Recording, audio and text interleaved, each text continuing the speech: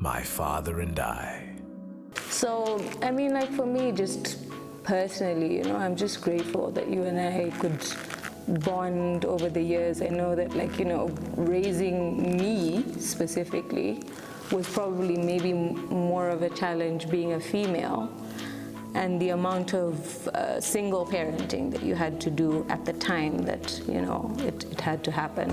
Which you know now people are like oh it must have, must have been so difficult. And i'm just like uh, no actually dad's a really good mom. Like he's just he kind of just found his stride in, in taking care of me as a female child and allowing me you know to kind of still blossom without feeling like oh my god i only have like can i talk to my dad about this and you know just like the important things like boys and sex and you know life and choices and how you've kind of advised me through life about career choices and partner choices and and raising kids and and all of that. So i'm really grateful because i think it could have gone either way you know and um, you could have been doting, and I could have been just like, oh, get off me.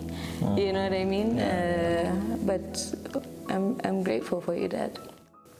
You know, you, you didn't become the man you are because it just happened. You became the man you are because of grandpa mm. and grandma and your relationship with them. Oh, I'm getting emotional.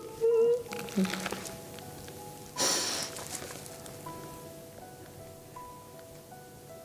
Yeah.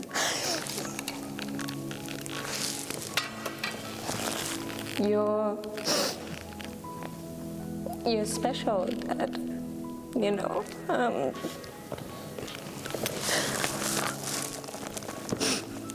people don't know um, how wonderful a man you are.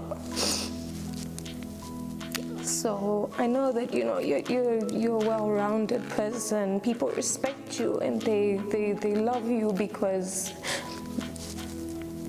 you're a genuine human being, you know, in everything that you do and, and how you help the community and you know, your passion and your drive for the things that you've, you've, you've transitioned from as a businessman or, you know, your different crafts, how you've molded yourself. You know, people ask me, why is your mom your inspiration and why is your dad your inspiration? And I think that, you know, coming from the family that you came from, it taught you very early on to just accept people. And um, I'm that way because of you, you know, and, and, and because of you and mom. And you guys are just you know, you're stellar parents. Um, I, I hope that I'm doing half the job that you guys did for us. My father and I.